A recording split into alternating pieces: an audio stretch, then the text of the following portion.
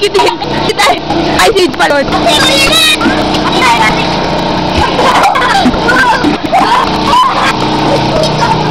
Papa, wag sini.